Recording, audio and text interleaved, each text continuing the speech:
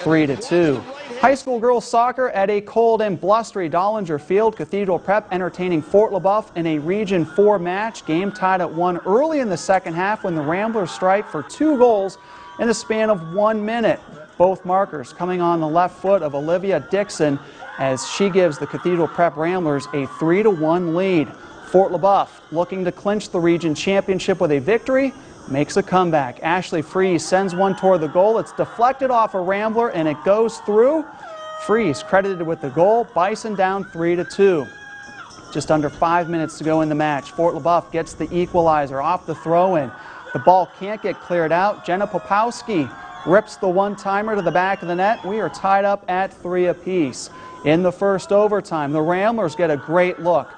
Alexa Toyega gets a boot on it, but freshman goalkeeper Gabriella Green makes the save. The Ramblers would hit the crossbar in the second overtime. This one would end in a 3 3 draw in double overtime.